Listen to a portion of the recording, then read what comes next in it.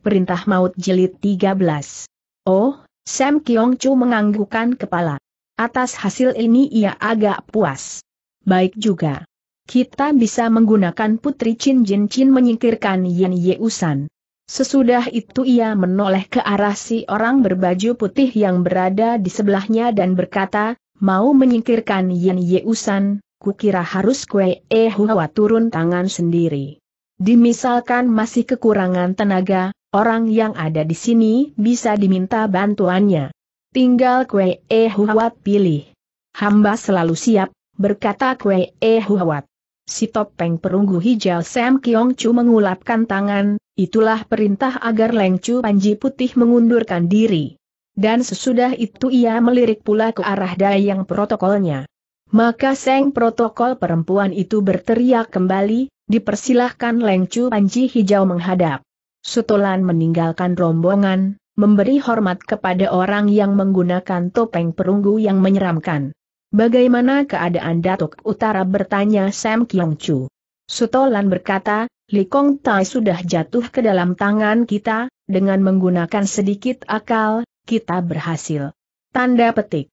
Apa sudah dibawa pergi bertanya lagi Sam Kyong Chu. Sudah Sutolan menganggukkan kepala.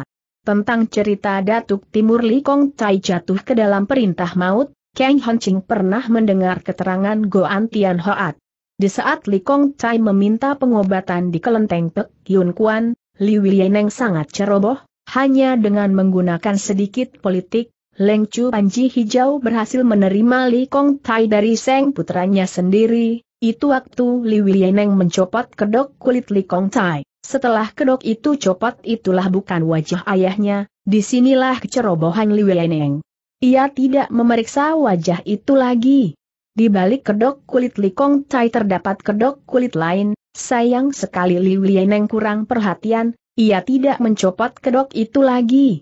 Maka dianggapnya orang lain, Seng ayah yang sakit diserahkan kepada musuh. Di sinilah letak kesalahan Li Wieneng karena di dalam kebimbangan, ia kurang menyelidik, maka dengan mudah menyerahkan Seng Ayah ke tangan Seng musuh. Mengikuti dan mendengar tanya jawab tadi, Kang Hon Ching memastikan kalau dugaan Goan Tian Hoat itu tidak salah, Li Kong Tai sudah dibawa pergi, tentunya dibawa ke markas besar perintah maut. Atas hasil prestasi Panji Hijau, Sam Kiong Chu sangat puas, ia menganggukkan kepala dan mengulapkan tangan. Kau boleh mundur. Leng Chu Panji Hijau Sutolan memberi hormat dan mengundurkan diri. Dari ketiga Leng Chu tadi, Leng Chu Panji Merah mendapat tugas untuk menghadapi Datuk Timur, Leng Chu Panji Putih mendapat tugas untuk menghadapi Datuk Barat dan Leng Chu Panji Hijau menghadapi Datuk Utara. Giliran Leng Chu Panji Hitam yang menghadapi Datuk Selatan, bagaimana ia memberi laporan? Hati Kang Ching berdebar, ia hendak mengetahui dari usaha perintah maut di bagian Leng Chu Panji Hitam ini. Di saat yang sama, Dayang protokol Sam Kiong Chu sudah berteriak keras, dipersilahkan Leng Chu Panji Hitam menghadap. Leng Chu Panji Hitam meninggalkan rombongan, memberi hormat kepada Sam Kiong Chu. Dengan secara panjang lebar dan terperinci, Leng Chu Panji Hitam menceritakan jalan penyerangannya perintah maut kepada Datuk Selatan. Sam Kiong Chu mendengar dengan penuh perhatian. Kang Hon Ching juga memanjangkan kuping. Sesudah Leng Chu Panji Hitam itu selesai memberi laporan, Sam Kiong Chu mengangguk-anggukan kepala, ia berkata, di markas besar aku telah mendengar laporan. Di antara kalian empat panji hasil panji hitamlah yang terbaik. Toa Kiong Chu telah berpesan kepadaku untuk memberi hadiah tertentu. Terima kasih Susiok, berkata Leng Chu Panji Hitam. Ternyata mereka mempunyai hubungan keponakan dan paman murid. Hati Kang Hon Ching semakin berdebar, dari keterangan itu, ia bisa memahami tugas dari keempat Lengcu adalah menghadapi keempat datuk persilatan, dan di antaranya hasil dari prestasi Panji Hitamlah yang terbaik. Ini berarti dari keempat datuk, datuk selatanlah yang paling celaka. Tentu saja. Mengingat bagaimana si Lengcu Panji Hitam menyamar menjadi Kang Puh Ching menculik Sang Toako selama tiga bulan, terakhir dengan datangnya Kang Hon Ching, dan menolong Kang Puh Ching, baru mereka berhasil menyingkirkan Hu Chun Chai dan Chu Ju Hong. Mengapa mengatakan prestasi Panji Hitam sebagai prestasi yang terbaik? Inilah yang membingungkan Kang Ching. Betul. Ayahnya sudah binasa. Jenazah itu hilang tanpa bekas. Toh bukan Leng Chu Panji Hitam yang berhasil? Seng Toako berhasil ditolong keluar, Chu Ju Hang dan Hu Chun Chai sudah terusir pergi. Mengapa mengatakan prestasi Leng Chu Panji Hitam sebagai prestasi terbaik? Terdengar lagi suara Sam Kiong Chu, bagaimana hasil penyelidikan kalian? Betulkah Kang Seng Fung sudah mati? Mendengar kata suara Sam Kiong Chu tadi, hati Kang Hancing tercekat, ia mengeluh, mereka masih kurang yakin kalau ayah itu sudah meninggal dunia. Tanda petik. Terdengar suara jawaban Leng Chu Panji Hitam, menurut penyelidikan Chu, betul Kang Seng Fung sudah meninggal dunia. Sekarang Kang Jie Kong Chu sedang menyelidiki siapa orang yang telah membawa lari jenazah ayahnya itu. Penyelidikanmu ini salah berkata Sam Kyong Chu. Menurut laporan yang kudapat, Kang Seng Fung masih belum mati. Beberapa orang melihat tanda pengenal Datuk Selatan itu, dengan adanya tanda pengenal ini, adalah suatu bukti kalau Kang Seng Fung masih berkeliaran di atas bumi. Di manakah Kang Seng Fung? Hati Kang Ching juga tercekat, tanda pengenalnya masih berkeliaran di rimba persilatan. Siapa yang menggunakan tanda pengenal itu? Oh, tentunya orang pengecut yang telah menggunakan tanda pengenal ayahnya. Demikian putusan Kang Ching. Terdengar suara Leng Chu Panji hitam, Chu masih belum dapat laporan ini. Maka, berkata Sam Kiong Chu, kau harus mengadakan hubungan kontak dengan anggota lainnya. Akan Chu perhatikan, berkata Leng Chu Panji hitam. Sam Kiong Chu berkata lagi, masih ada urusan lain. Di saat aku datang, pernah mendengar cerita seseorang yang memalsukan nama Jie Kong Chu, ilmu kepandaiannya tinggi dan hebat. Ia bisa mengalahkan Yan Ye Usan, pejabat ketua penganungan Jaya Yan Ye Usan. Mengalahkan Chiok Bieng Taisu dari Xiao Lim Siye, dan mengalahkan Chiok Sim Taisu dari Cheng Lian Siye, Puting Sutai dari Chiok Chu Em. Tahukah kau, siapa orang yang menyamar sebagai Kang Hanci itu? Leng Chu Panji Hitam menjawab, menurut dan mengikuti petunjuk Suto Pangcu, urusan Kang Jie Kong Chu sudah diserahkan kepada Sam Sumuai. Kejadian itu Chu belum tahu. Yang disebut Sam Sumuai adalah Sutolan.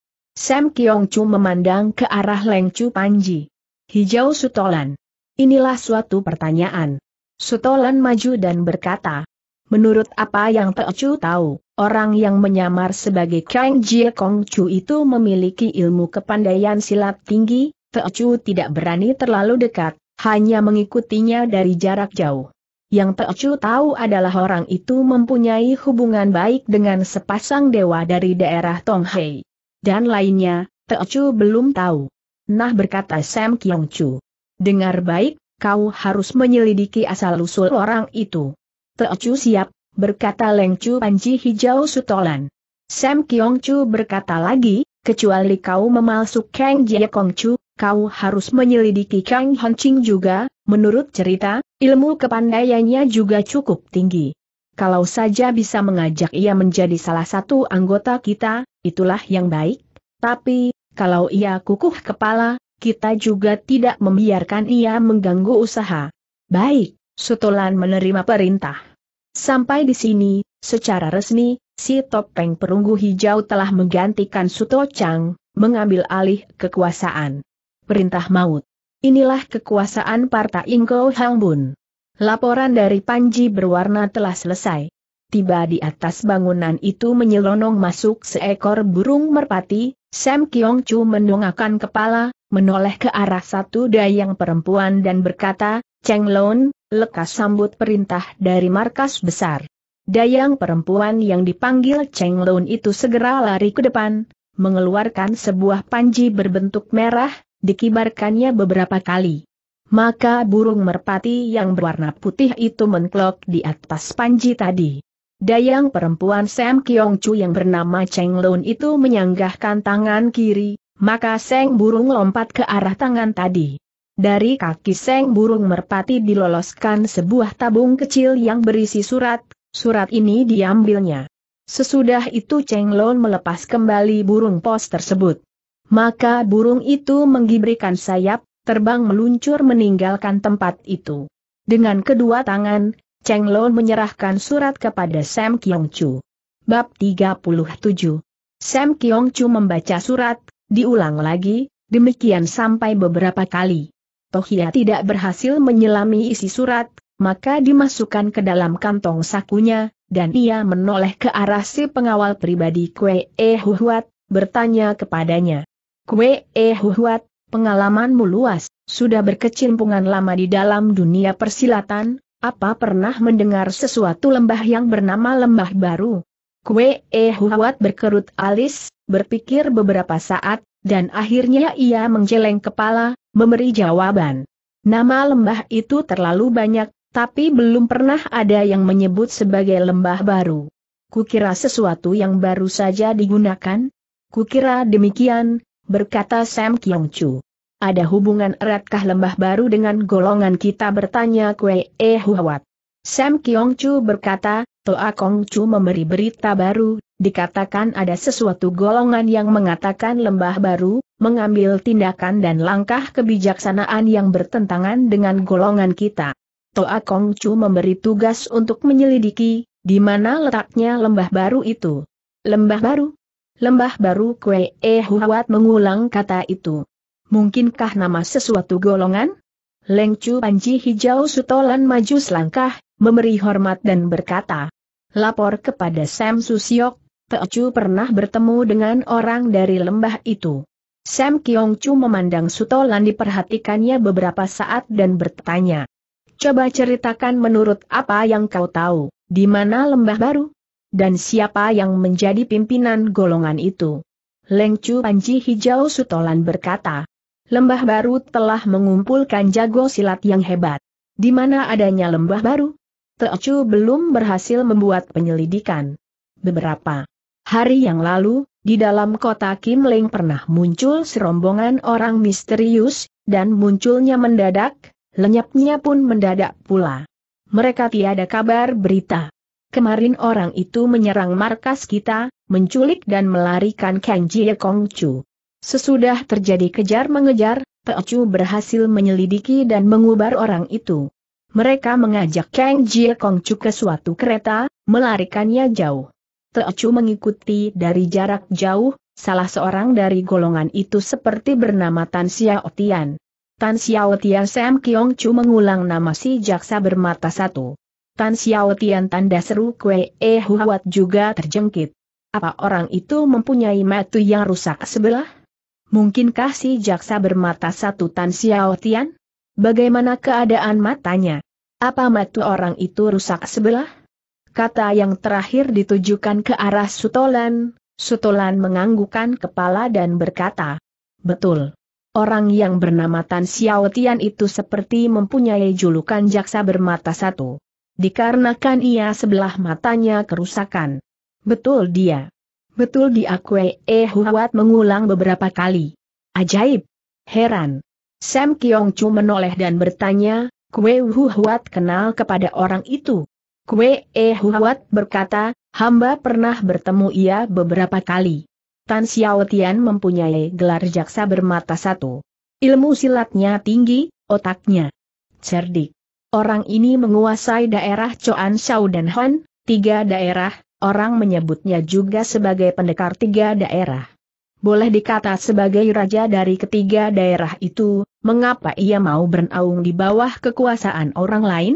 Menjadi anak buah partai baru yang tidak dikenal orang? Partai baru Sam Kyong Chu bergumam. Kekuatan baru yang tak bisa diremehkan.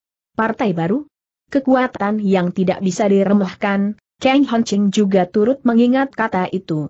Partai baru memang tidak bisa diremehkan. Partai inilah yang paling gigih menentang partai Ingko Hang Bun. Leng Chu Panji Hijau Sutolan berkata, Chu telah mendengar Ciok Gieng Taisu memberi peringatan kepada Ciok Sim Taisu, katanya, si Chu ini adalah Tantai Hiap, pendekar dari tiga daerah Choan, Sau dan Hiat yang ternama. Dari balik lubang topeng perunggunya yang menyeramkan, Sam Kyong Chu berkata, Jelas partai baru mengambil pendirian yang bertentangan dengan pendirian kita. Mereka adalah musuh. Kita harus berhati-hati. Apa pun yang terjadi, kita akan menempurnya. Sesudah itu Sam Kyong Chu memandang kepada empat baris panji berwarna dan berkata, Leng Chu panji hijau, Leng Chu panji putih, Leng Chu panji merah dan Leng Chu panji hitam. Dengar. Baik. Segera kalian menyelidiki jejak dari partai baru. Dan beri laporan secepatnya. Secara serentak, Keempat Lengcu itu berkata, Teocu siap menjalankan perintah Susyok. Tunggu dulu, berkata Sam Kyong Chu. Sebentar lagi Kue E Huat bisa mengatur sesuatu, menggantikan Yen Ye Usan dan untuk usaha ini, barisan Panji Putih harus membuat persiapan. Leng Chu Panji Putih membungkukan setengah badan dan berkata, siap. Wah! Rencana apa lagi nih Kang Hancing berpikir di dalam hati, Sam Kyong Chu menyuruh Kue E Huat ingin menggantikan Yen Ye Usan tentunya ingin membunuh wakil ketua benteng penganungan jaya itu. Bakal celakalah Yen Ye Usan. Masih terdengar suara Sam Kyong Chu. Bukan Yen Ye Usan saja yang harus disingkirkan. Ketua Chok Chuk Emput Ing Sutai dan Ketua Cheng Lian Siai Chok Sim Tai Su juga harus dilenyapkan dari permukaan bumi. Hanya satu yang harus diperhatikan, kalian harus memberi kesempatan hidup kepada Ciok Beng. Kue E Hua tertawa, ia berkata. Sam Kyong Chu memang mempunyai penilaian yang tepat. Tentu saja. Rombongan ini telah berani memegat rombongan dari partai baru. Kalau saja kita kasih sedikit kesempatan kepada Ciok Beng, tentu ia membuat pengaduan yang bukan, kita menggunakan tutup kerudung, orang kita belum dikenal oleh mereka. Perhitungan ini bisa langsung jatuh ke atas kepala partai baru. Biar Xiao Lim Pei dan Inggo Pei yang mengaduk partai baru. Sebetulnya Kang Chin masih memikir-mikir, dengan alasan apa Sam Kiong Chu membebaskan Chiok Biang Taisu? Mungkinkah Chiok Biang Taisu menjadi matu mereka? Mendengar suara Kue E Huat yang seperti ini, ia sadar lagi golongan jahat menggunakan taktik melempar batu sembunyi tangan, hendak membunuh Hen Yeo Sandikaka dan memfitnah partai baru. Permainan licik Kang Hancing memaki di dalam hati. Terdengar suara tertawa cekikikan Sam Kyong Chu dari balik topeng perunggunya yang hijau dan seram itu, suara tertawa si gadis membangunkan bulu Roma. Betapa menarik suara seorang gadis, tapi tidak bisa disamakan dengan suara Sam Kyong Chu, Suara ini penuh keseraman bisa membangunkan bulu Roma. Penuh hawa pembunuhan, bisa menciutkan nyali seseorang. Legakan hati Sam Kyong Chu, berkata Kwe E Huawat. Serahkan urusan ini kepada hamba. Sam Kyong Chu menganggukkan kepala dan berkata, baiklah, Sam Kyong Chu menganggukkan kepala. Kemudian dia memberi isyarat kepada empat dayangnya bersama meninggalkan tempat. Itu. Kepergiannya Sam Kyong Chu dihormati oleh empat barisan panji berwarna. Kang Ching juga turut membungkukan badan, hatinya berpikir. Caranya si topeng perunggu hijau ini lebih hebat dengan ayah Sutolan. Wah! Kalau begini kejadiannya celakalah tokoh silat di rimba persilatan. Beruntung aku bisa mengetahui rencana mereka, tapi bagaimana harus mencegah? Kang Ching mikir bagaimana harus mengatasi bencana rimba persilatan dari kehancuran tangan jahat.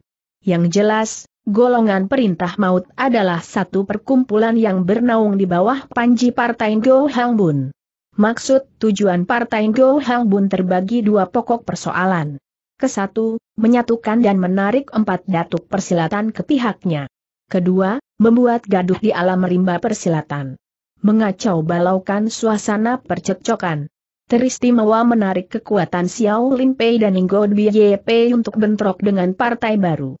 Hasil lainnya yang Kang Ching bisa menarik kesimpulan dari perjalanan tersebut ialah Kesatu, golongan partai maut yang terdiri dari intisari partai Go Hang hendak menyingkirkan Yen Ye Usan, kemudian memalsukan Yen Ye Usan, mengambil alih benteng penganungan jaya. Kedua, membunuh Put Im Sutai dari Chiok Chuk Am, menyingkirkan Chiok Sim Taisu. Gerakan yang hendak mereka lakukan ialah Kesatu, barisan Panji Merah bersedia untuk menghadapi Datuk Timur. Kedua, barisan Panji Putih disediakan untuk menghadapi Datuk Barat. Ketiga, barisan Panji Hijau khusus disediakan untuk menghadapi Datuk Utara. Keempat, barisan Panji Hitam disediakan untuk menghadapi Datuk Selatan. Menggunakan empat barisan berwarna untuk menghadapi empat Datuk Persilatan. Kang Hancing lebih mengutamakan gerakan barisan panji hijau. Salah satu dari barisan panji berwarna yang hendak menghadapi keluarganya. Selain itu Panji Hijau juga bertugas menyelidiki asal-usul Tong Jie Peng. Orang yang telah berulang kali menolong dirinya, sesudah itu Leng Chu Panji Hijau Sutolan dapat tugas untuk membujuk dirinya, memasuki partai Go Hang Bun. Sesudah keberangkatan si topeng perunggu hijau Sam Kiong Chu, maka wakil pimpinan jatuh kepada Kue E Huawat. Kue E Huawat menoleh kepada Leng Chu Panji Putih dan bertanya. Liok Hiang Chu, apakah sudah menyelidiki di mana Yan Yeosan bermalam? Leng Chu Panji Putih menjawab, rombongan dari benteng penganungan jaya itu mengambil tempat di rumah penginapan Seng Kiekek Chiam.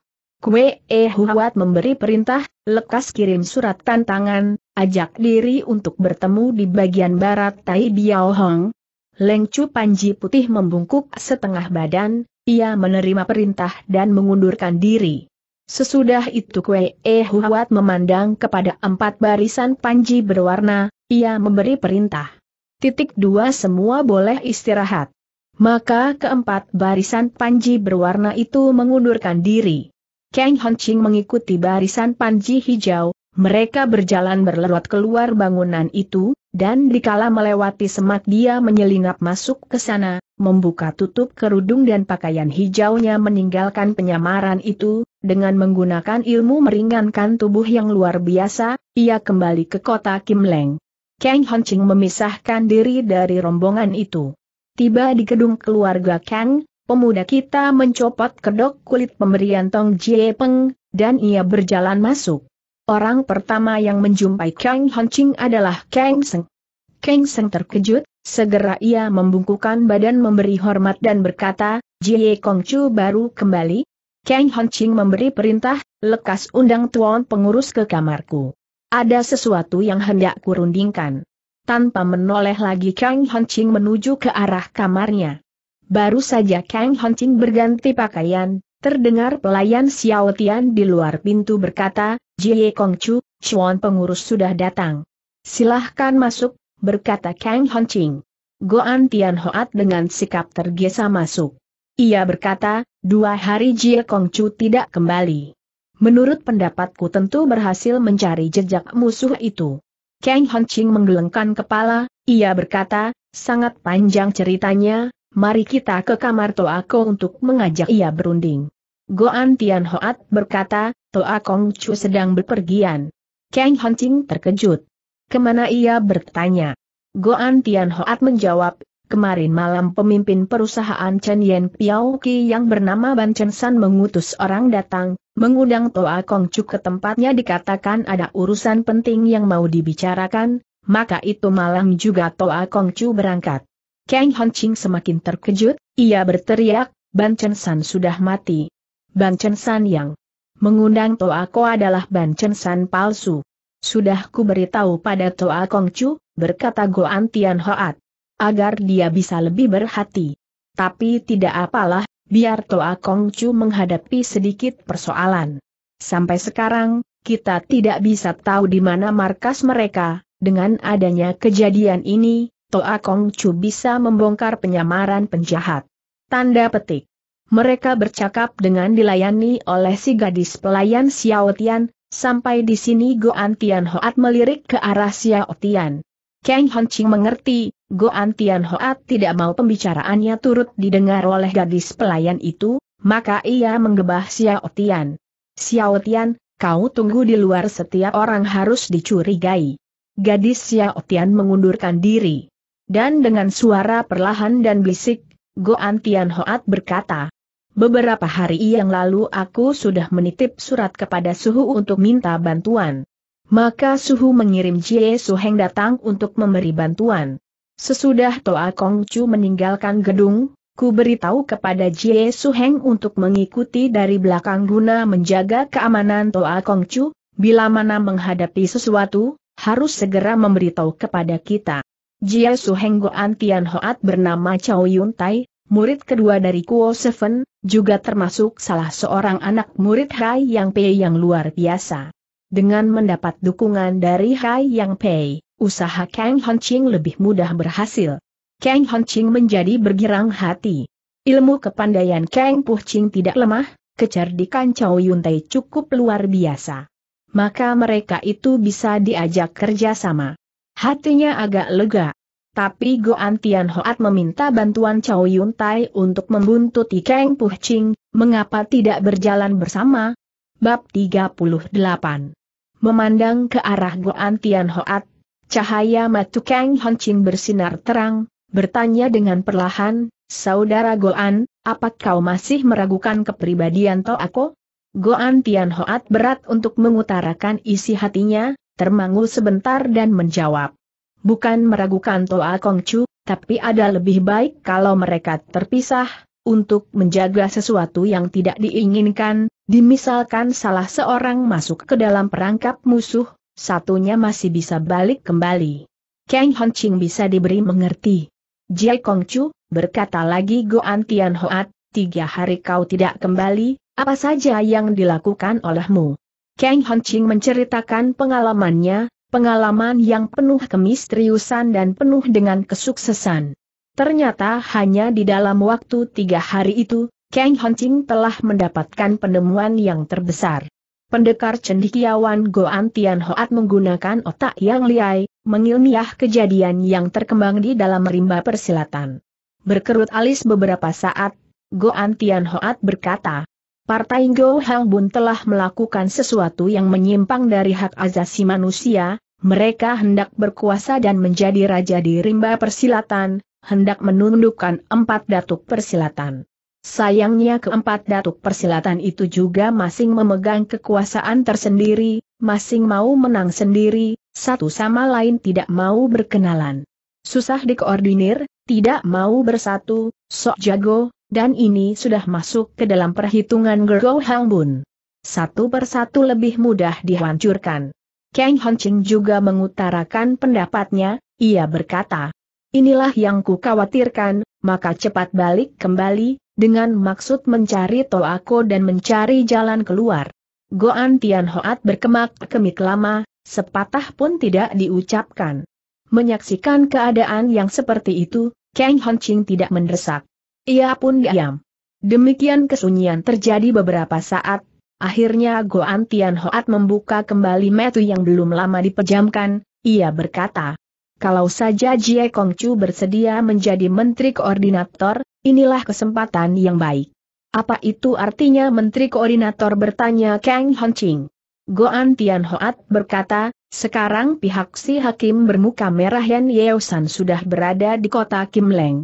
Menginap dan bermalam di rumah penginapan Seng Kek Chiam. Ia hanya pejabat ketua penganungan jaya tapi kedudukannya tidak berbeda dengan wakil Datuk Barat. Karena itulah kedudukannya yang paling berbahaya. Berbahaya bagaimana? Hubungan Yan Usan sangat luas. Juga mudah mengikat tali perserikatan dengan datuk lainnya. Asal saja Jie Kongcu bisa mengajak Yan Usan bekerja sama, menghubungi Datuk Timur dan Datuk Barat, maka keempat Datuk Persilatan pasti bisa kompak. Mungkinkah Kang Ching ragu? Goan Tian Hoa tersenyum, ia mendekati telinga Kang Ching dan mengutarakan rencananya. Rencana apa yang Goan Tian Hoa usulkan? Berhasilkah Kang Ching menyatukan datuk persilatan yang mau saling berkuasa itu? Bagaimana mereka mengelakkan serangan golongan? Perintah maut yang menjadi anak perserikatan dari Partai Go Hang Bun. Mari kita mengikuti cerita berikutnya. Matahari mencorong keras, bergantung di tengah langit. Di jalan raya kota Kim Leng, seorang pemuda sastrawan dengan kipas di tangan berjalan lenggang menuju ke rumah penginapan Seng Kiekek Chiam. Begitu berada di pintu rumah penginapan, beberapa pelayan segera menyambut dengan ramah, Salah seorang bertanya, Kongcu hendak bermalam? Pemuda sastrawan itu memutarkan kedua matanya dan ia bertanya, apa ada kamar yang besar yang paling bersih? Ada, ada, cepat pelayan rumah penginapan itu menjawab. Diajaknya si pelajar berbaju putih masuk ke dalam. Pemuda pelajar ini terus-menerus bergoyang kipas, ia berjalan di belakang pelayan dan tidak henti berkata, Hi, ada beberapa kamarkah di tempatmu ini? Terbagi berapa ruangan? Kami mempunyai 60 kamar, masing terbagi dari ruangan. Ruangan mana yang terbaik tanya si pemuda pelajar. Ruangan timur. Baik. Ajak aku ke ruangan timur. Apa keadaan rumah penginapan ini ramai atau sepi? Agak lumayan. Aku hendak memilih tempat yang agak sepi, untuk membaca baka buku, tanpa mendapat gangguan, untuk sewa kamar, mahal sedikit pun tidak apa. Setelah berkata begitu, pemuda pelajar memperhatikan kamar, lalu menunjuk ke arah salah satu kamar sambil berkata, aku mau kamar ini. Oh pelayan itu terkejut. Maaf, kamar ini sudah ada penghuninya. Yang itu pun boleh, berkata si pemuda sambil menunjuk ke arah kamar sebelah. Maaf Kongcu, untuk barisan kamar ini sudah diborong orang. Siapa yang memborong? Seorang tua bermuka merah dengan rombongannya, menjelaskan si pelayan. Di saat ini dari luar memasuki dua orang laki berpakaian ringkas, langkahnya tegap dan keras memasuki kamar yang ditunjuk pemuda tadi. Di saat mereka bersampokan, si pelayan memberi hormat dan berkata, Jiwie sudah kembali, biar hamba bawakan air. Kedua laki berpakaian ringkas itu tanpa menyahut si pelayan, terus jalan menuju kamarnya dan langsung menggabrukan pintu. Si pemuda memandang kedua orang tadi dan menoleh ke arah si pelayan dan bertanya, kedua orang itu. Mereka baru saja berjalan juga termasuk rombongan orang tua bermuka merah. Akhirnya si pemuda sastrawan memilih kamar yang tidak berjauhan dari kamar itu. Sampai di sini, kita boleh membuka kartu, pemuda sastrawan adalah samaran Kang Honching. Dan orang bermuka merah yang memborong barisan kamar itu adalah si hakim bermuka merah Yan Yeosan untuk sementara kita tinggalkan Kang Honching. Di luar rumah penginapan Sengkiekek Ciam. Pemandangan seperti biasa, tenang, awan putih di langit yang tidak berumbang. Di jalan raya dari jauh mengepul debu tinggi, empat ekor penunggang lari mendatangi ke arah rumah penginapan Sengkiekek Ciam. Seorang yang di depan adalah orang tua bermuka merah, inilah pejabat ketua penganungan Jaya Yan Usan di sebelahnya adalah lak berbaju biru, inilah Yen Xiu Hiat. Di belakang mereka turut mengiringi dua laki-laki berbadan tegap, dua orang yang dibawa dari benteng penganungan Jaya. Secepat itu pula, keempat kuda itu berhenti di depan rumah penginapan Sengkiekek Chiam, Yen Ye Usan dan Yen Xiu Hiat lari masuk ke dalam. Diikuti oleh dua orang mereka. Yen Ye Usan adalah cukong besar, para pelayan rumah penginapan segera menyambut mereka. Membungkukkan badan dan menyilakan mereka lewat cepat. Alis Yan Ye Usan berkerut, ada sesuatu yang merundungi dirinya, ia hanya membalas hormat para pelayan itu dengan satu anggukan kepala, dengan langkah lebar menuju ke arah kamar.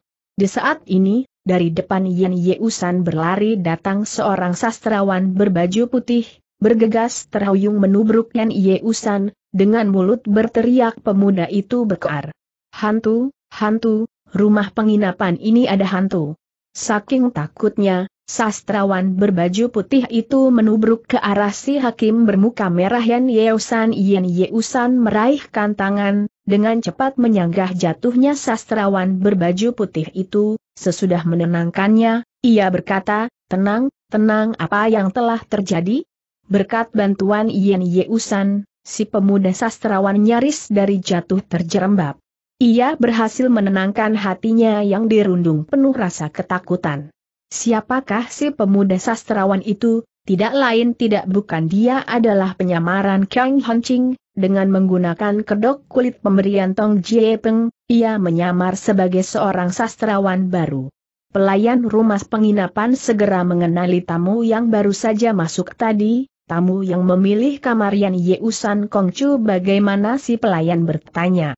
Terengah si pemuda sastrawan istirahat sebentar, ia memberi hormat kepada Yan Yeosan dan berkata, maaf. Maaf. Bo Anseng meminta maaf. Bo Anseng berarti aku yang rendah. Bo Anseng khusus menyebut diri sendiri kepada orang lain yang memiliki kedudukan lebih tinggi.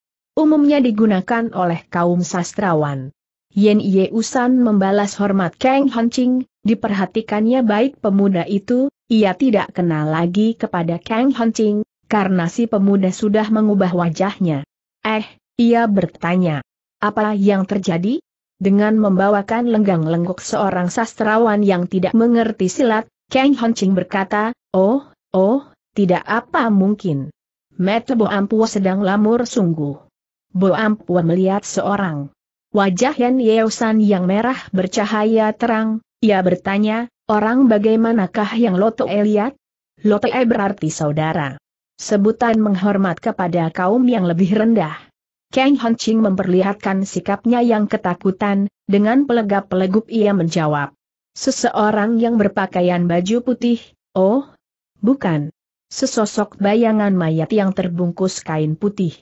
Mendengar ucapan itu si pelayan menjadi gugup, mana mungkin dalam rumah penginapannya ada hantu di siang hari bolong? Karena itu cepat ia berkata, Kongcu jangan bergurau. Rumah penginapan kami aman dan tentram. Apalagi pada siang hari bolong, dari mana datangnya mayat berkerudung putih? Yen Ye Usan mengibaskan pelayan rumah penginapan, menghadapi Kang Hancing dan bertanya, di mana bayangan itu sekarang? Kan Hancing berkata, orang itu, makhluk itu, makhluk itu berdiri, Kang Hancing menunjuk ke arah deretan kamar yang sudah diborong oleh Yan Yeosan wajah Yan Yeosan berubah, ia berteriak keras, apa yang dikerjakan? Bo Anseng melihat ia bergoyang, longak-longok di sana. Sebentar kemudian, benda tadi lenyap mendadak. Wajah Yan Yeosan semakin berubah, menoleh ke arah Yan Xiu Hiat dan berkata, lekas kalian periksa. Ternyata Yan Yeosan saat itu baru saja kembali dari mencegat Kang Hancing beserta rombongan partai baru. Ketika ia menerima laporan dari seseorang bahwa Putri Chin Jin Chin yang juga turut melakukan perjalanan dan menginap dalam rumah penginapan itu yang bernama Chin Shok Tin telah lenyap tanpa bekas. Lenyap diculik orang dari kamar penginapannya. Maka cepat ia meninggalkan orang tersebut. Begitu tiba, sekarang lagi ada seseorang yang mengintip di kamarnya, bagaimana ia tidak menjadi berdebar? Keterangan Kang Hancing tepat memasuki hatinya. Karena itu ia memberi perintah kepada Yan Xiu Hiat dan orang untuk memeriksa. Yan Xiu Hiat mengajak dua orangnya memeriksa kamar mereka. Yan Ye Usan menepuk pundak Kang Hancing, ia berkata, mungkin Lao Te salah mata, mungkin juga ada pancalongok yang hendak mencuri sesuatu. Menggunakan kesempatan kita tidak berada di dalam kamar, hendak mencuri benda berharga. Jangan takut, mari kita periksa. Menggandeng tangan Kang Hancing, Yen Ye Usan mengajak si pemuda memeriksa. Di tengah jalan, Metu Yen Ye Usan yang liai sudah menaruh. Curiga, pakaian dan gerak-gerik Kang Hancing dilakukan seperti seorang sastrawan yang tidak mengerti ilmu silat, tapi dari cahaya sinar matanya yang begitu bening, orang ini pasti memiliki latihan tenaga dalam tinggi, bukan seorang yang tidak pandai silat, karena itu ia menjadi curiga, menyelidik dan bertanya, bagaimana sebutan Lotte E. Kang Hancing menjawab, Bo Anseng bernama Li Xiao San. Tentunya orang dari jauh bertanya lagi Yan Yeo San Kang Hancing berkata, Bo Anseng sedang menuntut pelajaran, karena itu terluntas sampai di tempat ini. Namaku Yan Yeo San, si hakim bermuka merah memperkenalkan diri kita boleh berkenalan. Oh Chuan Yen Ye Usan, Kang Ching memberi hormat. Care Kang Ching mendengar disebutnya nama Yan Usan itu tidak seperti care orang lain, biasa dan datar, tentu saja ia sedang menyamar sebagai seorang sastrawan muda, bukan seorang jago silat, karena ia harus pandai membawa diri, berpura tidak tahu betapa hebat dan betapa besarnya nama pejabat ketua benteng penganungan jaya. Nama Yan Yeosan adalah wakil dari Ketua Benteng Penganungan Jaya, bayangan dari Datuk Barat. Namanya terkenal ke mana, Tapi sikap Kang Honching yang seperti itu membuat hatinya tidak menaruh curiga. Mungkinkah betul seorang sastrawan muda hati Yen Yeusan bergumam? Kedatangan Yen Yeusan dan Kang Honching disambut oleh Yen Xiu Hiat, ia berdiri di depan Seng Paman tanpa bicara. Yen Yeusan bertanya, apa sudah diperiksa? Ada kekurangan apa? Tidak apa, berkata Yen Xiu Hiat. Tidak ketemu jejak maling itu. Mari kuperkenalkan, berkata Yen Yeusan inilah keponakanku yang bernama Yen Xiu Hiat. Inilah Tuan Li Xiao San. Yen Xiu Hiat dan Kang Honching saling memberi hormat. Yen Yeusan mengajak Kang Honching ke ruang tengah, sesudah menyuruh orangnya menyediakan di mana mereka bercakap. Yen Xiu Hia turut mendampingi, ia selalu memalingkan pandangan matanya ke arah Seng Paman, seolah hendak mengutarakan sesuatu, di situ hadir seorang tamu asing yang bernama Li Xiao San. Mereka tidak kenal kepada sastrawan Li Xiao San ini, mereka menaruh curiga kepada si sastrawan Li Xiao San, karena itu mereka tidak berani memperbicarakan persoalan-persoalan yang rahasia. Kang Honching bisa melihat pada keragu-raguan dan kecurigaan dari Yan Xiu Hia tadi, memandang ke arah Yan Yeusan dan ia berkata, Apa Lotiang kalian tidak letih? Lotiang adalah bahasa sebutan seorang muda kepada golongan yang lebih tua.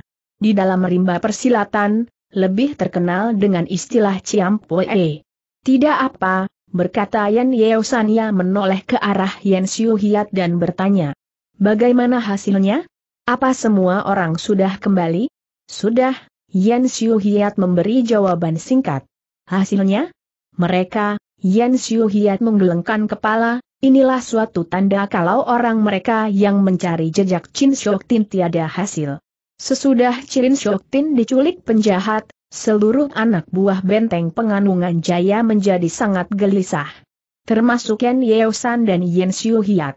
Bagaimana tidak, kalau putri dari junjungan mereka yang dipercayakan itu lenyap tanpa bekas? Yen Yeusan memancarkan sinar kebuasan, ia berkata, betul kita jatuh di bawah tangan cecunguk-cecunguk itu. Nah, sampai di sini sandiwara Kang Honching sudah waktunya untuk ganti upacara, ia tidak boleh terlalu menyolok mata, karena itu wajib mengelakkan rahasia yang baru saja diketahuinya, ia meminta diri, katanya, Lo Tiang masih banyak urusan. Sampai di sini dahulu perkenalan kita. Bo An Seng meminta diri. Di saat Kang Honching hendak berbangkit Yen Yeosan sudah menekan pundak si sastrawan palsu itu dengan tertawa dan berkata, Duduk dulu. Urusan kita hanya urusan biasa. Perkenalan kita adalah jodoh, aku senang bercampur gaul dengan para sastrawan. Teristimewa sangat tertarik kepadamu. Sesudah itu Yan Yeosan berpaling kepada Yan Xiu Hiat mengeditkan mata isyarat. Yan Xiu Hiat segera mengundurkan diri, meninggalkan Yan Yeosan dan Kang Honching. Kang Honching duduk kembali, ia mengucapkan terima kasih dan berkata, atas kebaikan hati Lo Tiang, Bo Ampu hanya bisa menurut saja. Menunjuk ke arah minuman di meja, Yen Yeusan berkata, Lo Tue, silahkan minum. Yen Ye Usan memegang minuman itu. Diikuti juga oleh Kang Honching. Lute, berkata Yen Ye Usan kau menetap di daerah Tin Kang. Suatu tempat yang tidak jauh dari sini, bukan? Apakah maksud tujuan Lote ke tempat ini? Tanda petik. Boan Seng hendak menemui seseorang kawan, bagaimana usaha Totiang balik tanya Kang Honching. Yen Ye Usan menghela napas panjang, perlahan berkata, urusanku ke daerah Kim Leng untuk mengurus sesuatu urusan pribadi. Tanda petik. Oh, maaf, berkata Kang Honching. Maaf. Tidak apa. Pantas saja Loti yang seperti sangat berduka. Seolah baru dirundung kemalangan. Kata ini tepat memasuki lubuk harian Yeusan, sepasang matanya bercahaya terang. Hebat. Lotte memang hebat, Yen Ye Usan mengeluarkan pujian. Puluhan tahun aku malang melintang di rimba persilatan belum pernah menemukan urusan yang seperti ini. Tidak disangka hari ini aku betul-betul terjungkir di bawah mereka. Oh Kang Honching memperlihatkan sikapnya yang terkejut. Ternyata Lo Tiang adalah seorang pendekar ternama dari rimba persilatan. Maaf, Bo Anseng tidak tahu. Tapi urusan apakah yang menyulitkan Lo Tiang? Di dalam hati Yen Yeusan berkeluh dingin pikirnya, entah siapa anak muda ini. Kukira kau pandai sekali berpura. Betapapun penyamaranmu, mana bisa menandingi diriku? Dan untuk menjajal kebenarannya, ia berkata, Lotre bukan orang dari rimba persilatan, tapi tentunya pernah mendengar tentang beberapa tokoh silat ternama pada masa ini. Dimisalkan Datuk Timur Siesio, Datuk Selatan Kang Seng Fung dan Datuk Barat Chin Jin Chin dan Datuk Utara Li Kong Tai. Ya, ya, jawab Kang Ching, dari salah seorang guru silat Bo Ang Seng pernah mendengar nama harum dari keempat Datuk Persilatan itu. Nah, Aku adalah salah seorang anak buah dari Datuk Barat Chin Jin Chin, datang ke Kim Leng untuk mengurus sesuatu, mencari jejaknya seseorang pemuda hidung belang. Pemuda hidung belang itu telah membunuh dan memperkosa keponakan perempuanku. Yen Ye Usan merendah diri, menggunakan istilah salah seorang anak buah Chin Jin Chin. Oh Kang Hon Chin mengeluh. Datuk Barat Chin Jin Chin mempunyai seorang putri yang bernama Chirin Shoktin. Karena di benteng penganungan jaya tidak ada orang, ia memaksa untuk turut serta melakukan perjalanan. Apa boleh buat, kuajak juga kemari. Nah, di sinilah letak kesalahanku, baru kemarin malam ia mendadak lenyap tanpa bekas. Lenyap di dalam kota Kim Leng bertanya Kang Ching. Inilah yang membingungkan orang, berkata Yan Yeosan lenyap dari kamarnya. Aku telah menyebar orang untuk menyelidiki, tapi tiada hasil sama sekali. Gila. Sungguh penjahat gila berkata Kang Ching. Dalam kota yang begini ramai, berani mereka menculik orang? Lute, aku membutuhkan sedikit keteranganmu, berkata Yan Yeosan silahkan Loti yang katakan. Pernahkah Lote mendengar sesuatu komplotan jahat yang berada di kota Kimleng? Bo Seng jarang sekali berhubungan dengan jago rimba persilatan. Belum pernah dengar, berkata Kang Ching, tapi... Tapi apa yang Ye Usan mulai ketarik. Kang Ching memperlihatkan sikapnya yang lambatan, kemudian ia berkata, tetapi apa urusan ini mempunyai sangkut paut dengan lenyapnya Putri Datuk Barat? Coba kau katakan, berkata Yan Usan Kang Ching berkata. Di saat Bo An Seng bermalam di suatu rumah penginapan, terdengar percakapan di kamar sebelah, suara mereka sangat perlahan, mereka ada menyebut nama Nona Cirin Shoktin, dan banyak sekali yang diucapkan oleh mereka, sayang Bo Seng tidak bisa menangkap semua. Apalagi yang dikatakan oleh orang itu. Kang Ching menelengkan kepalanya beberapa saat baru berkata, Menurut apa yang Bo Seng bisa tangkap, orang itu telah menculik Nona Cirin Shoktin, hanya karena urusan seorang yang mempunyai julukan si pendekar hakim bermuka merah. Asal saja bisa membunuh pendekar hakim bermuka merah ini, maka mereka bisa merampas harta kekayaannya. Mendengar sampai di sini, tiba saja Lian Ye Usan tertawa berkakakan. Kang Ching seperti tertegun sebentar, ia berkata, mungkin ada yang salah? Yen Ye Usan menghentikan suara tertawanya perlahan ia bertanya. Apa Lo Te pernah bertemu dengan si pendekar hakim muka merah? Kang Ching menggelengkan kepala. Itulah aku sendiri, berkata Yan Yeosano. Maaf. Penjahat itu hendak menghadapi diriku? Hau, Yen Yeusan memperlihatkan sikapnya yang berwibawa, apa yang mereka hendak lakukan? Apa yang mereka bisa lakukan bertanya Kang Ching. Di dalam, Yen Yeusan sedang bercakap dengan Kang Ching. Dan di luar, Yen Xiu Hiat sedang menjaga agar tidak ada orang yang mengganggu ketenangan pembicaraan itu. Seorang pelayan berjalan menghampiri kamar mereka, karena itu Yen Xiu Hiat membentak. Ada apa? Ada surat yang hendak diserahkan kepada Tuan Besar, jawab pelayan itu. Serahkan saja kepadaku kata Yen Xiu Hiat. Pelayan itu menyerahkan sepucuk surat. Di atas sampul bertulisan, diserahkan kepada yang terhormat pengurus benteng penganungan Jaya Tuan Yen Ye Usan siapa yang memberi surat ini bertanya Yen Xiu Hiat. Seorang laki berbaju kelabu. Yen Xiu Hiat mengucapkan terima kasih dan pelayan itu berjalan pergi. Yen Xiu Hiat memasuki ruangan dan menjumpai Yen Ye Usan. Bab 39 Yen Ye Usan yang sedang bercakap dengan Kang Hancing terputus, menoleh ke arah Yen Xiu Hiat, bertanya, ada apa? Ada sepucuk surat, jawab Yen Xiu Hiat. Dari mana? Yen Xiu Hiat menjawab, menurut keterangan si pelayan, seorang yang berbaju kebuahu mengantarkan, sesudah menyerahkan surat ini, orang itu berjalan pergi lagi. Yen Ye Usan menerima surat itu, tapi tidak segera dibaca di depan Kang Hancing. Ia menyimpannya di dalam saku. Kang Hancing juga tahu diri, segera ia meminta diri, Lo Tiang masih ada urusan, untuk sementara Boang Seng meminta diri. Baiklah, Yen Ye Usan tidak mencegah. Kita orang tinggal di dalam satu rumah penginapan, kalau ada waktu boleh berkunjung lagi. Yen Ye Usan mengantar Kang Hancing meninggalkan ruangannya.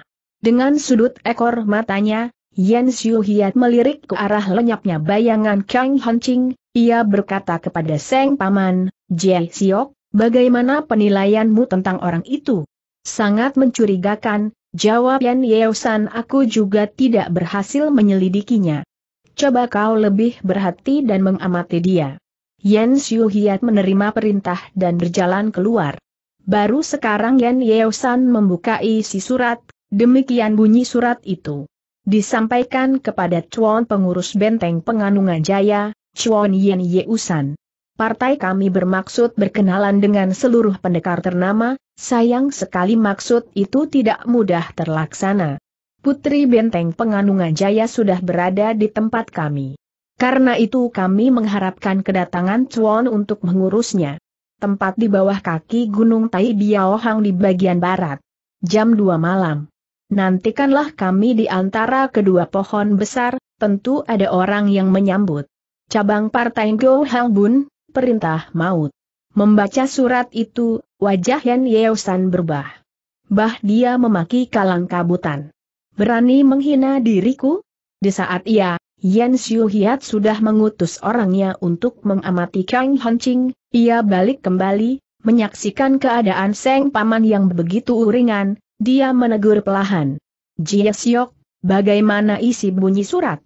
Bacalah sendiri Yen Ye Usan melemparkan surat itu kepada Seng keponakan.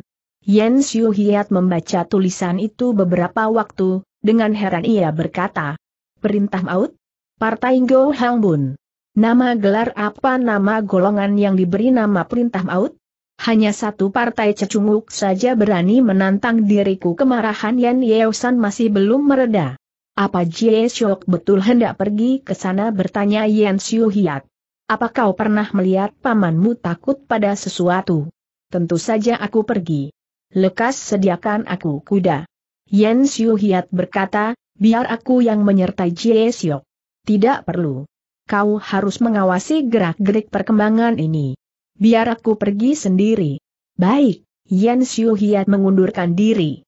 Sesudah mengenakan pakaian ringkas, mempernakan dirinya dengan baik, Yan Ye Usan meninggalkan kamar itu. Di luar, Yan Xiu Hiat sudah menunggu dengan seekor kuda jempolan, kuda yang berwarna merah. Yen Ye Usan menerima kuda itu, ia siap berangkat. Yen Xiu Hiat bertanya, apa Jie Xiu masih ada pesanan lain? Perhatikan baik pemuda sastrawan yang bernama Li Xiao San itu. Li Xiao San adalah nama samaran Kang Hancing. Dengan satu kali pecut kuda itu dilarikan. Kuda yang tersedia bagi orang benteng penganungan jaya itu adalah kuda jempolan, hanya beberapa kali keperukan sudah meninggalkan rumah penginapan.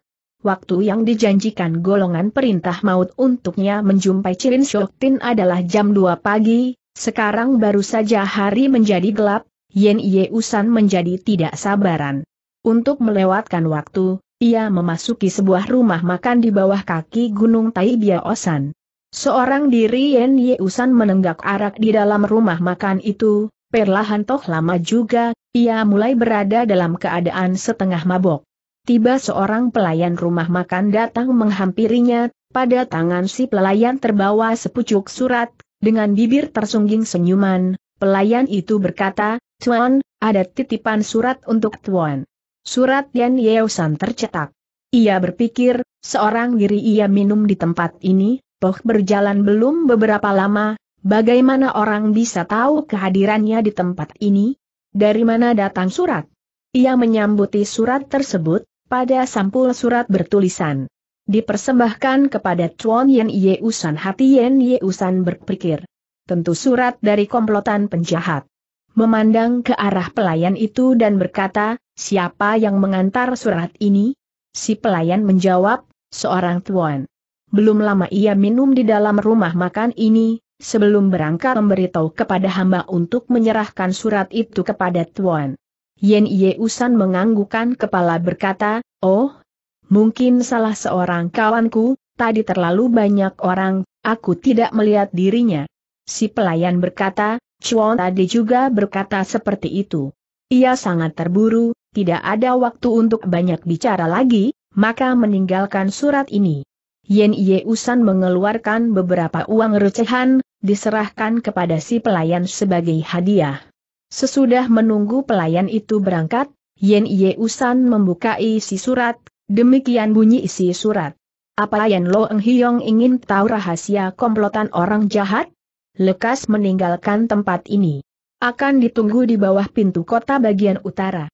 Tapi berhati, di sekitar rumah makan itu sudah banyak macam-macam musuh. Lebih baik keluar dari pintu belakang, agar tidak diketahui mereka. Tulisan itu sangat indah dan menarik, tidak ada tanda tangan dan tidak identitas. Yen Ye Usan berkerutkan alis dan berpikir, siapa orang ini? Dari lagunya bukan salah. Satu dari anggota komplotan jahat, tapi dari mana? Pula? Baik. Akan kulihat siapa dia?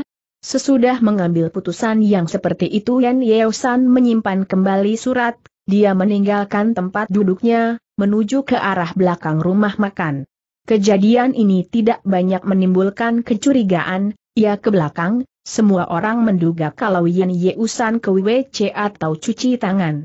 Beberapa saat kemudian, seorang hakim bermuka merah Yen Yeusan menyeret kakinya keluar kembali, duduk di atas tempat di mana meja. Yang ditinggalkan Yen Yeusan tadi. Dia minum pula seorang diri. Waktu yang ditetapkan pertemuan Yen Yeusan masih cukup lama, Yen Yeusan menenggak arak di rumah penginapan itu untuk melewati waktu.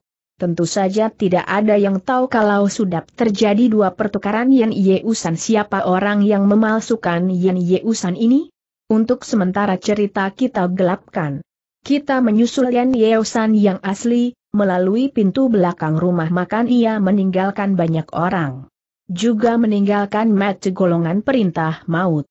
Tiba di bagian pintu utara kota betul saja berdiri seseorang, dari jauh orang itu sudah mengirimkan gelombang suara tekanan tinggi berkata, Yen Long Hiong yang datang?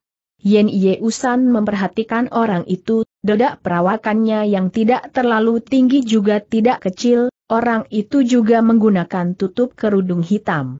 Tidak bisa dilihat wajahnya. Siapa Ya bertanya.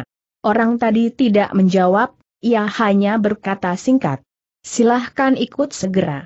Tiba orang berkerudung hitam itu membalikan badan melejit dan menuju ke depan.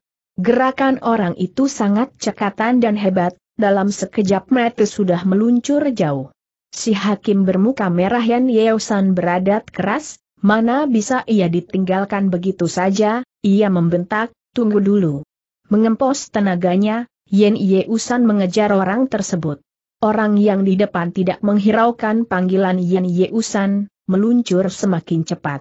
Demikian kedua orang itu saling susul, menuju ke arah utara. Hanya sekali loncatan, Yen Ye Usan sudah menempatkan dirinya di atas benteng tembok kota. Ia melongok ke bawah, tampak orang berkerudung hitam sudah melayang turun, bergendong tangan, seolah menunggu dirinya.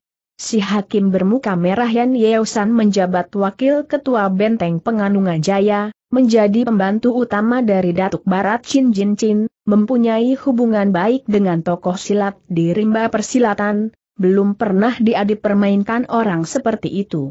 Hatinya terasa meringkal, dengan satu dengusan dingin, seperti seekor alak melayang turun, dia menubruk ke bawah.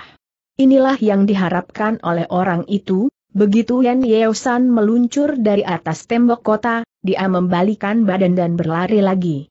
Hati Yan Yeosan tergerak, hatinya berpikir, ke mana kau hendak ajak diriku?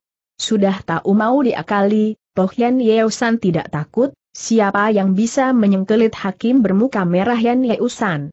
Karena itu, ia mengempos tenaga dan mengejar. Di antara cahaya malam, Kedua bayangan itu saling kejar, bagaikan bintik yang bergemilapan, menempur semak, meluncur di atas daratan. Yen Usan sudah memforsir semua ilmu meringankan tubuh, tapi dia belum berhasil menyandak orang yang berada di depan, 30 li telah dilewatkan kini mereka memasuki daerah pegunungan, itulah pegunungan Taibia Osan. Yen Usan tertawa dingin, ia bergumam. Aku memang hendak ke tempat ini. Pancinganmu memang kebetulan sekali.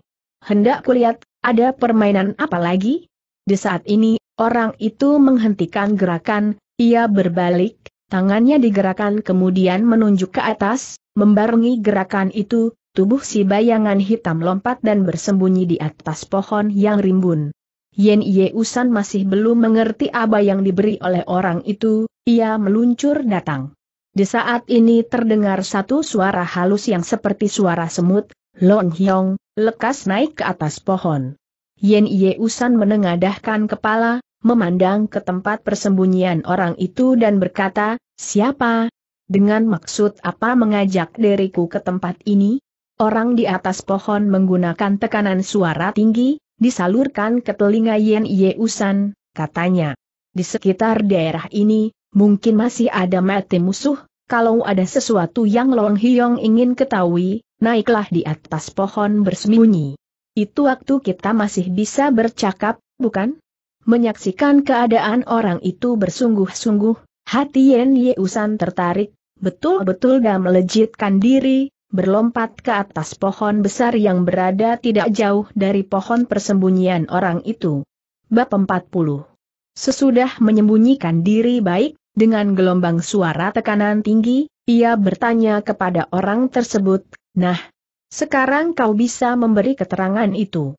Orang itu dengan suara tekanan gelombang tingginya berkata, Orang yang berperang tentu membuat persiapan, apalagi menghadapi musuh kuat dan jahat, Long Hyong hendak menghadapi sesuatu komplotan jahat, sudahkah mengetahui rencana busuk lawan itu?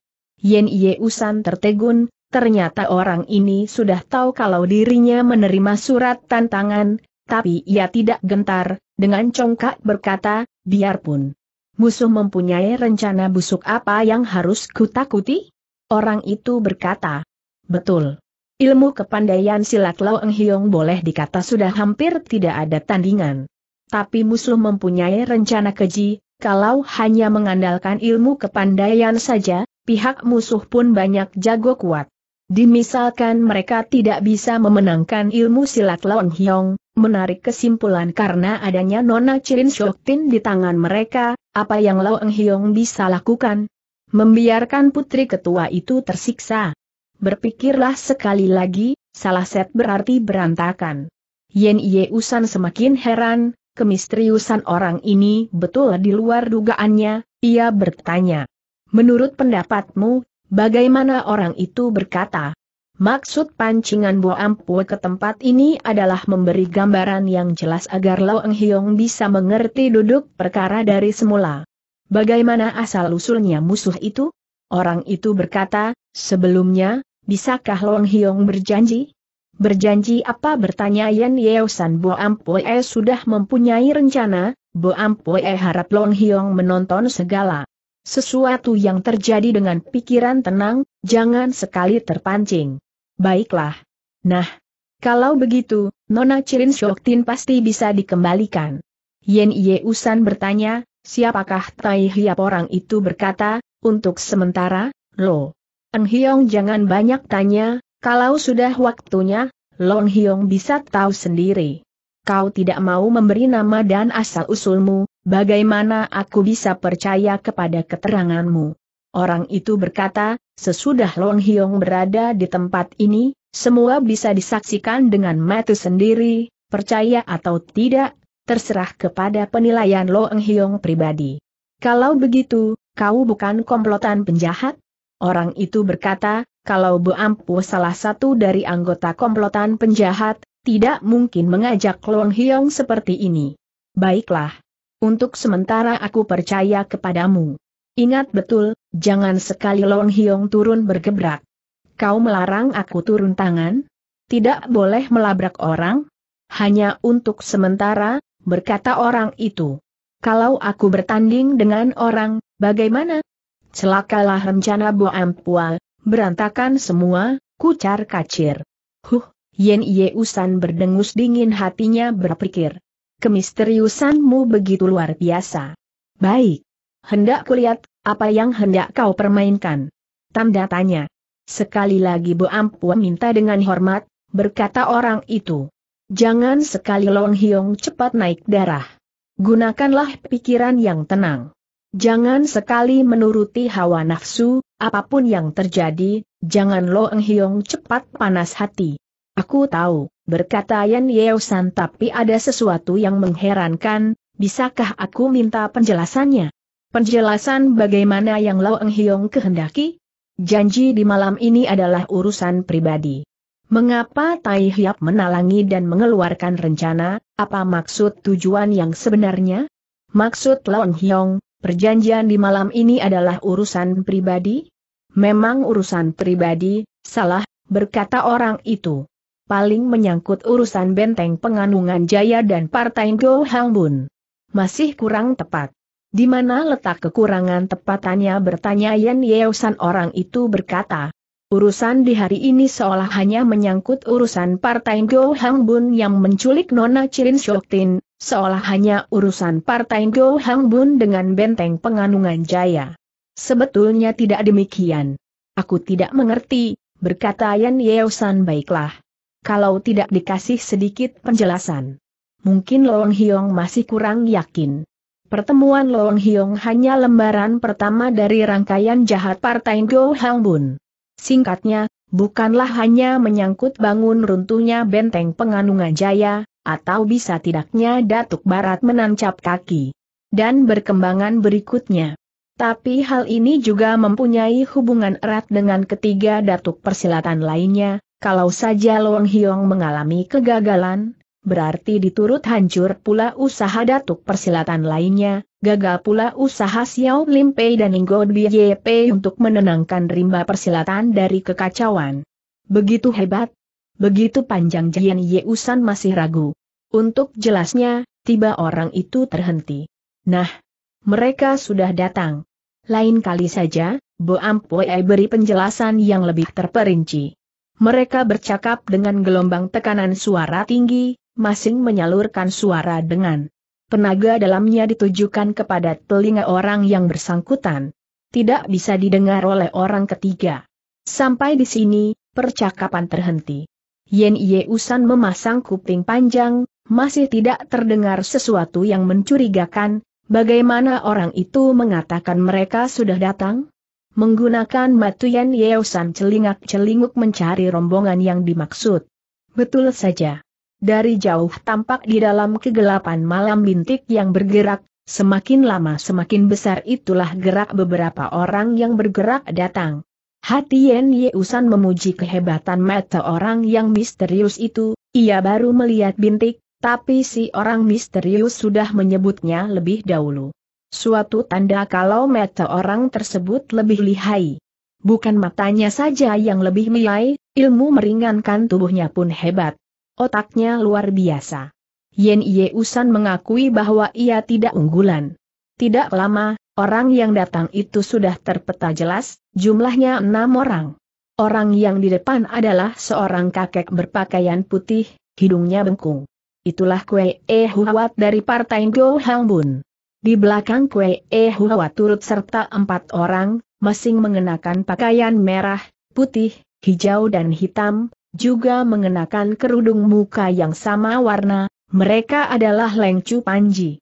Merah, Lengcu Panji putih, Lengcu Panji hijau dan Lengcu Panji hitam.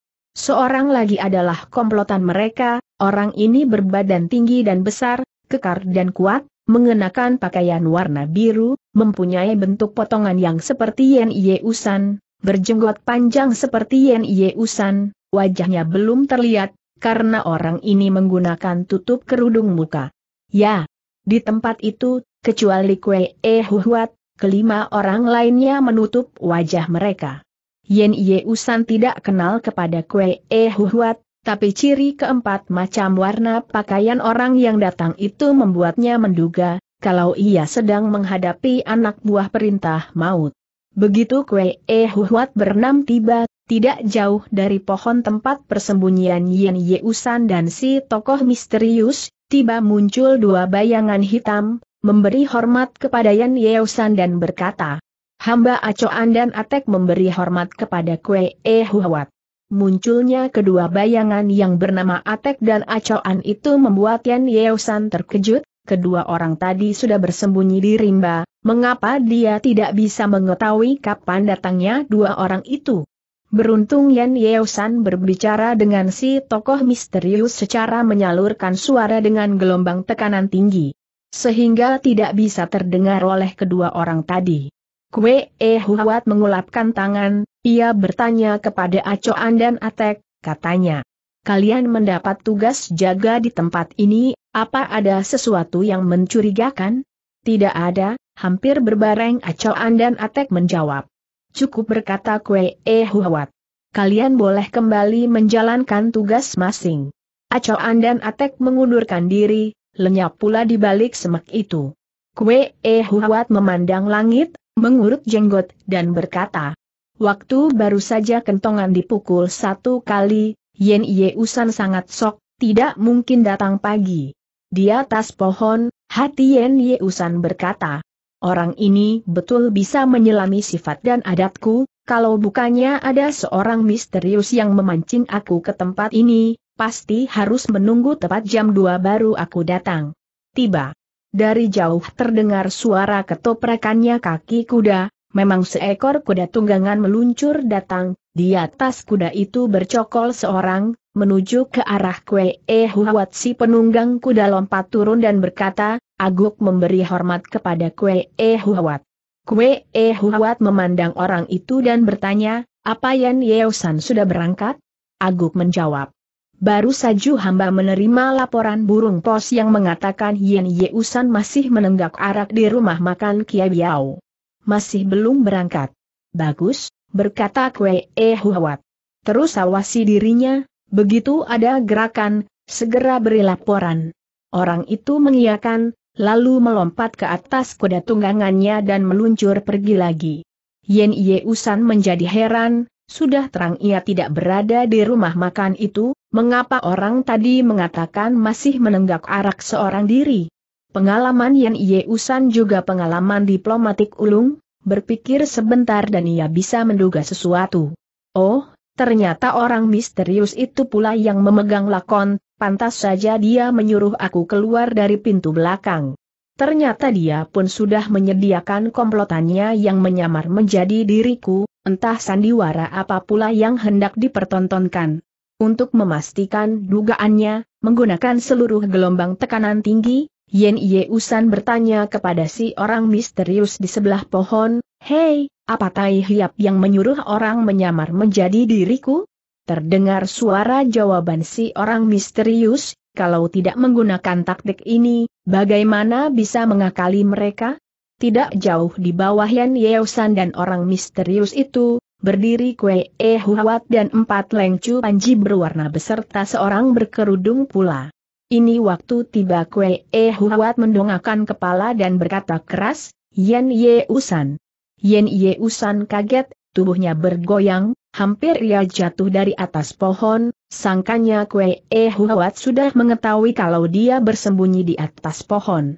Dan ini waktu, dari semak lompat keluar seorang yang mengenakan jubah biru, orang yang mempunyai jenggot dan dedak perawakan seperti Yen Ye Usan membungkukan badan, ia segera menyahut, hamba siap. Yen Ye Usan yang di atas pohon menjadi bingung, ia bergumam, masih ada lagi orang yang bernama Yen Ye Usan. Oh, ternyata si jubah biru itu mempunyai nama yang sama dengan namaku. Kue E Huat memandang ke si jubah biru dan berkata, apa Leng Chu Panji Putih sudah menjelaskan urusan berikutnya? Sudah, berkata si jubah biru. Kue E Huat menganggukkan kepala, ia sangat puas, dan ia berkata, Nah, kau boleh bersembunyi di belakang pohon, nanti sesudah berhasil membunuh Yan Yeusan, kau harus segera pergi ke kota Kim Leng, menggantikan kedudukan dirinya. Baik, orang yang mengenakan jubah biru itu segera mengundurkan diri, menghilang dari pandangan mata.